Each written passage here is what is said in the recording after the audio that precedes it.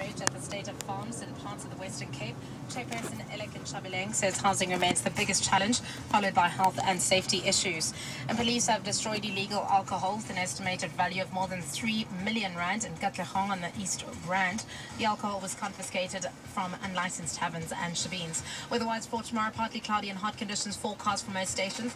Maximum temperatures to peak in the high 20s as well as the low 30s. Highs and lows Pretoria 19 to 33, Joburg 18 to 31, Vereeniging 15 to 31, Polokwane 15 to 30, Mafikeng 18 to 33, Bloem 18 to 31, Kimberley 21 to 32, Cape Town 17 to 25, George 17 to 23, PE 16 to 24, uh, East London 17 to 24, Durban 22 to 31, Peter Pietermaritzburg 19 to 33 degrees. You know what I'd like to find out What, what, what? is if there isn't an option in terms of, let's say I put an illegal shebeen. Yeah, Uh, I bought the alcohol legally, right? But I don't have a license to trade. out. Yeah. Exactly. But I am trying to make a living, right?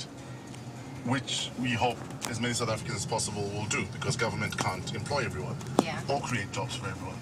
So, in the interest of we understand you're hustling, can't you find people and then allow them to maybe return the alcohol for cash? You know, just Not just destroy. not just destroy,